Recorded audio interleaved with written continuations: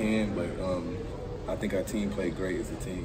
What in the week did you know the coach was going to be? I knew it all week. I knew it for the last two weeks.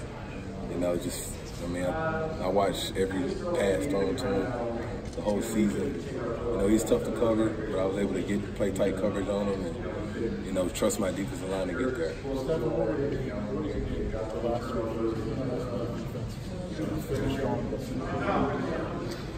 Like I said, it's a lot of doubters out there. We wasn't doing it for them. We knew what we had, and uh, it's trust. You know, we trust each other. We trust each other to be in the right spots, and, and you know that's that's what it comes down to. Two more questions.